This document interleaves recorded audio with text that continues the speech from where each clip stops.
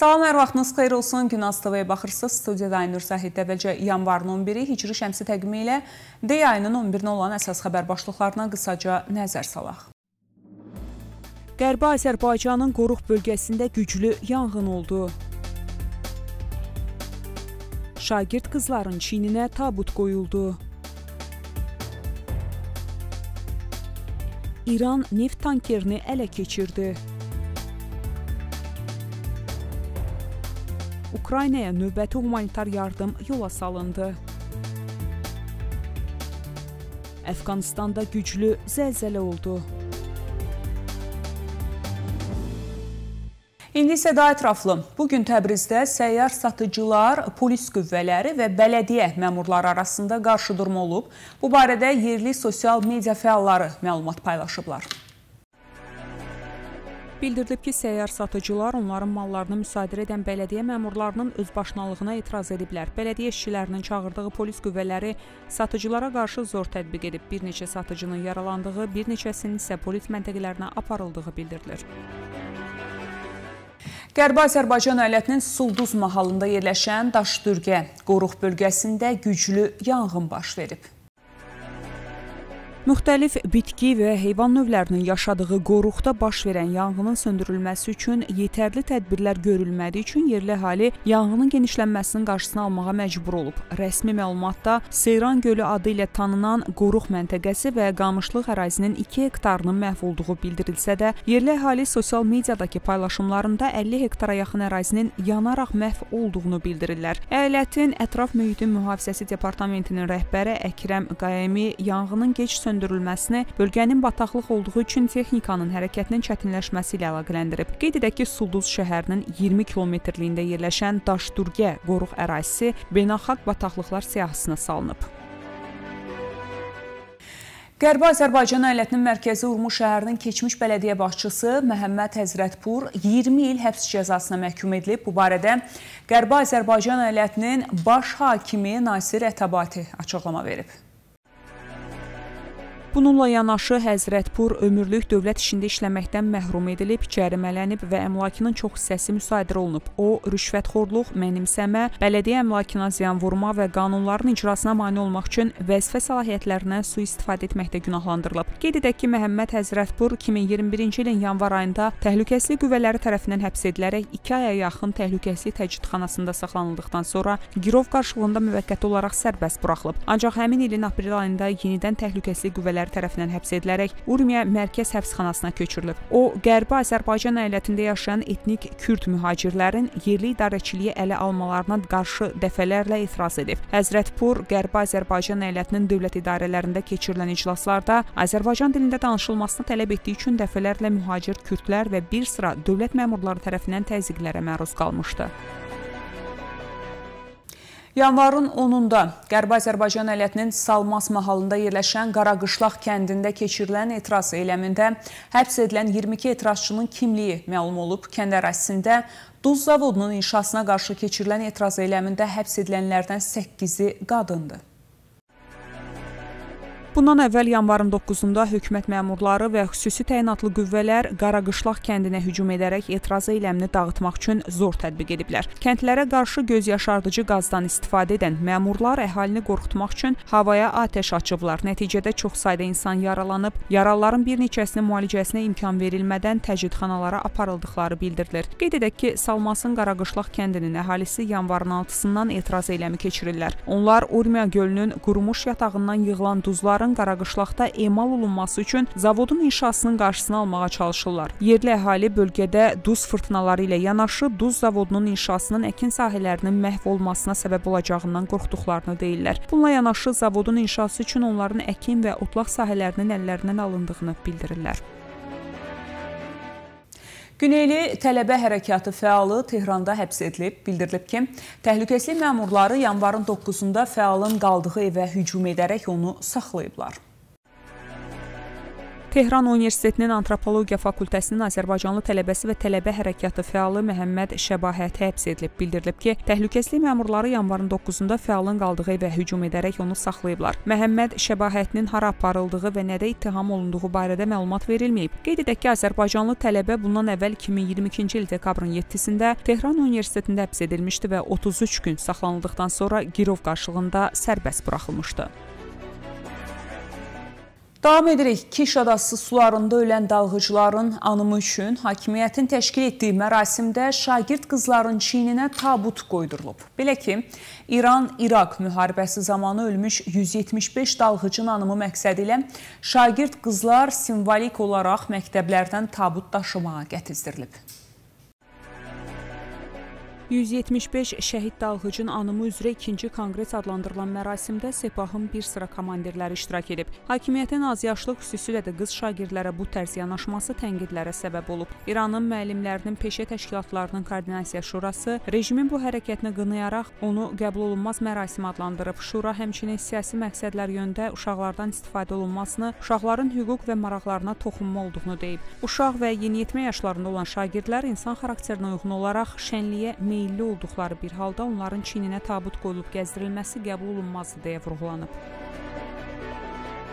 İranın Kirman şəhərində yanvarın 3-də baş verən partlayışlarla bağlı 35 nəfər həbs edilib. Bu barədə İran Təhlükəsizlik və Kəşfiyyat Nazirliyinin bu gün yaydığı bəyanatda bildirilib. Bəyanatda partlayışlarla bağlı Kirman, Qərbi Azərbaycan, İsfahan, Sistan və Bəlucistan, Tehran və Xorasan Rəzəvi əyalətlərində həbslərin həyata keçirildiyi deyilir. Bildirilib ki, hadisə ilə əlaqəli olan şəxslərin xarici ölkələrdə də təqibi və məsuliyyətə cəlb olunması istiqamətində iş aparılır. Qeyd edək ki, yanvarın 3-də Kirman şəhərində Qüds briqadasının keçmiş komandiri Qasım Süleymaninin ölümünün 4-cü il dönümü mərasimində iki partlayış törədilib. Nəticədə 94 nəfər ölüb, 281 nəfər yaralanıb.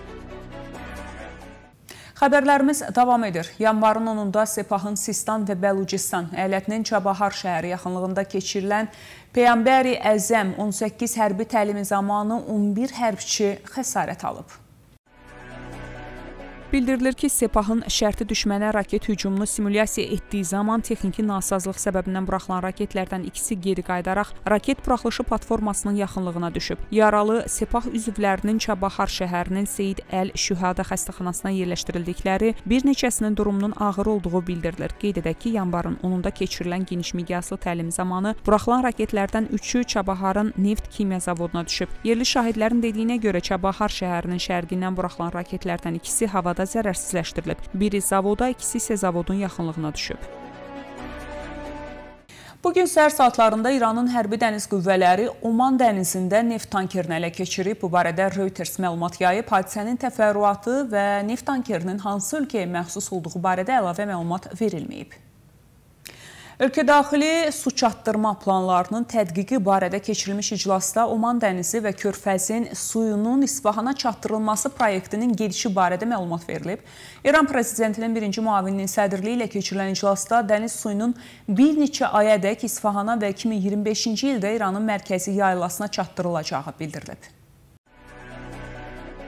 Prezidentin birinci müavini Məhəmməd Müxbir bu barədə deyib. Su məsələsi xalqın məişəti, rifahı və qida təmini üçün birinci dərəcəli əhəmiyyətə malikdir. Proyektin bir hissəsi olaraq Yəz şəhərini su ilə təmin edə bildik. Belə ki, cari ilin yayında şəhər üçün heç bir su problemi yaşanmadı. Oman dənizi və Körfəzin suyu bir neçə ayədək İsfahana da çataraq bölgə əhalisinin su problemi qaldırılacaq. Müxbir digər rəsmilərlə birgə iclasda iştirak etmiş enerji və sənaye nazirlərindən dəniz suyunun ölkə daxilində quraqlıq bölgələrə çatdırılması barədə planın hazırlanması sağlanmasını istəyib. Qeyd edək ki, İsfahan, Yezd və Kirman əyalətləri əsasən hakim fars xalqının yaşadıkları quraqlıq əyalətlər sırasındadır. İndiyənədək icrasına milyard dollar xərclənmiş nəhəng su çatdırma prosesindən məqsəd yalnız həmin bölgələrdə mövcud sənaye sektoru deyil, bölgənin kənd təsərrüfatı da yararlanacaq. Həmçinin əyalətlərin və əhalinin tuş gəldiyi su qıtlığı problemi qaldırılacaq. Lakin prezidentin birinci müavini Məhəmməd Müxbir su məsələsinin xalqın məişəti, rifahı və qida təmini üçün birinci dərəcəli əhəmiyyətə malik olduğunu dediyi bir halda İran İran rejimi qeyri-fars xalqların problemlərinin qaldırılmasına laqeyd yanaşır. O cümlədən Urmu gölünün dirçəlməsinə milyardlarla dollar lazım olmadan və bölgədə bol su qaynaqları varkən bu istiqamətdə faktiki heç bir tədbir görülmür.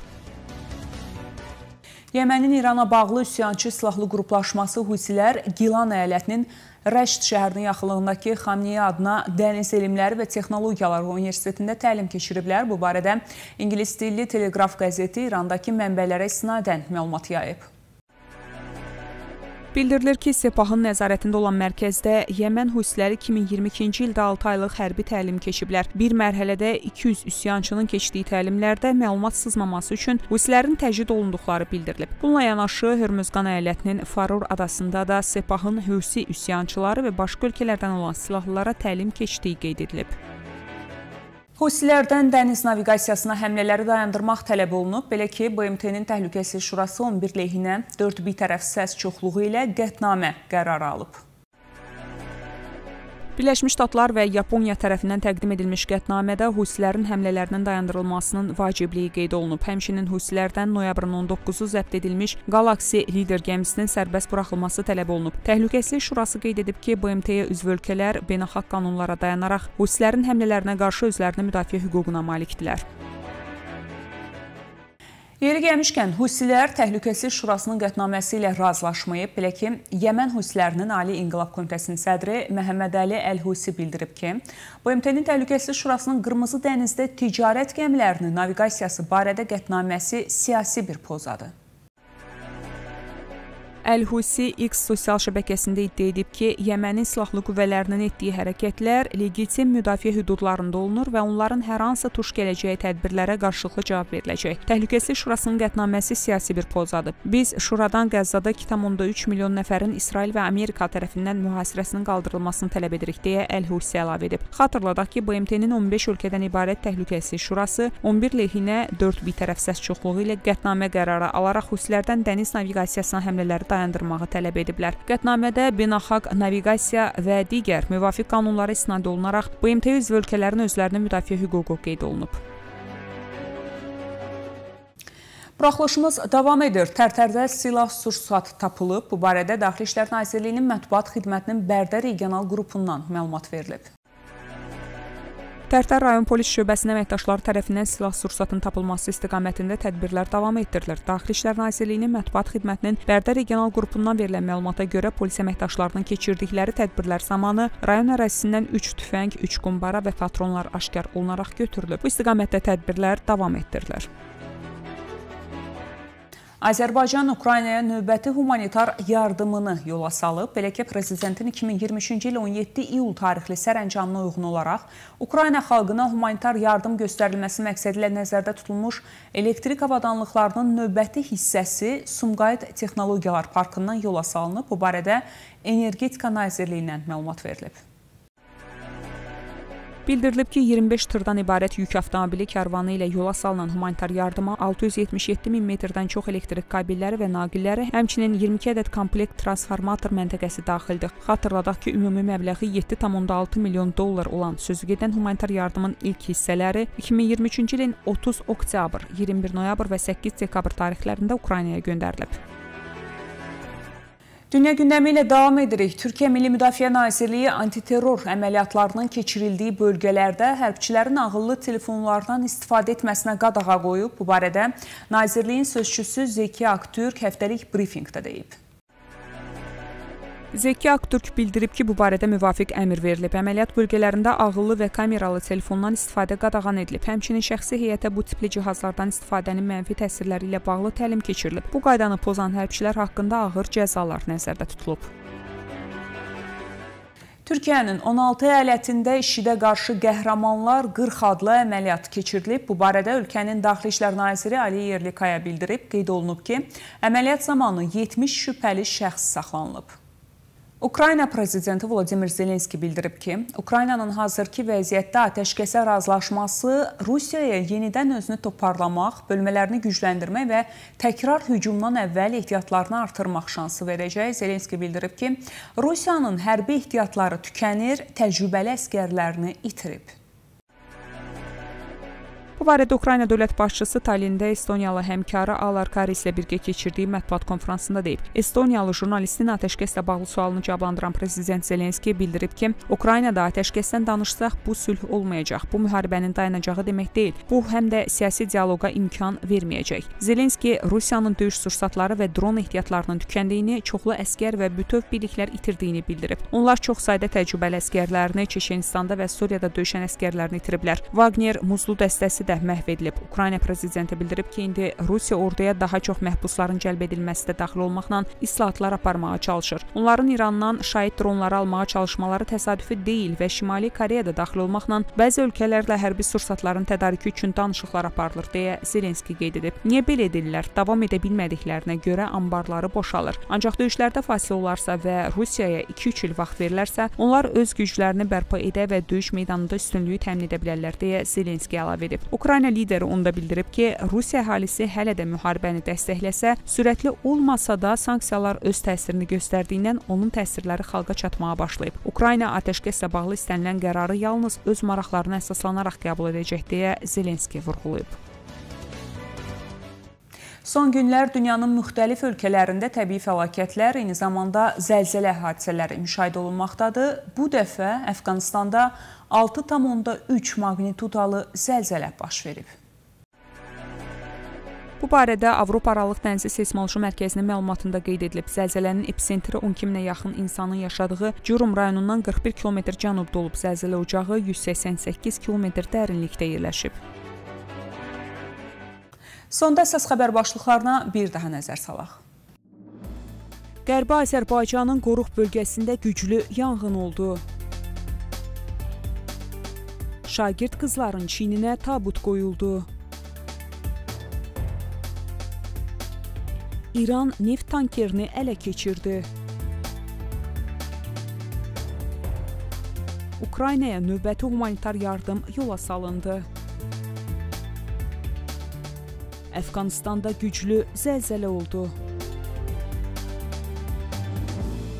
Belə hörmətli tamaşaçılar, bu günə çatdıracağım əsas xəbərlər bunlar idi. Sabah yenidən görüşmək ümidi ilə salamat qalın.